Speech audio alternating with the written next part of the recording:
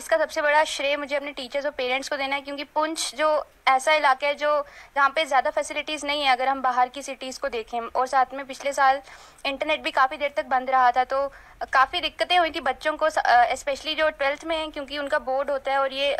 एक crucial year होता है तो कुछ महीनों के लिए पूरी स्टडीज़ ठप हो गई थी।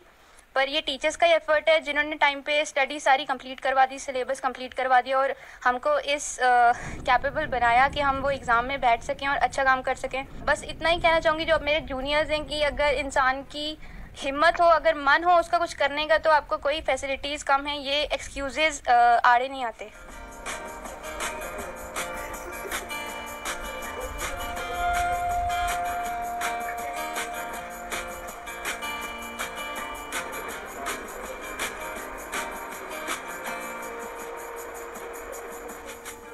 अभी मैंने इंजीनियरिंग का सोचा है ट्वेल्थ के बाद, क्योंकि मुझे इलेवेंथ से ही मतलब मुझे वहाँ पे इंजीनियरिंग का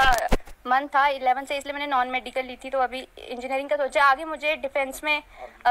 डिफेंस में इंटरेस्ट है काफ़ी तो इंडियन डिफेंस में जाने का मेरा प्लान है। तो क्या आप जाके आर्मी में जाके इंजीनियर बन के सेवा करोगे देश की? हाँ क्योंकि आ, आर्मी डिफेंस में जाके मुझे आ, देश की सेवा करना करना सबसे बड़ा काम लगता है। किसी भी इंसान की लाइफ में इससे बड़ा काम नहीं हो सकता कि आप अगर आप अपने देश की सेवा करो तो इसलिए मुझे मतलब बचपन से ही मेरा ड्रीम है कि डिफेंस में जाना।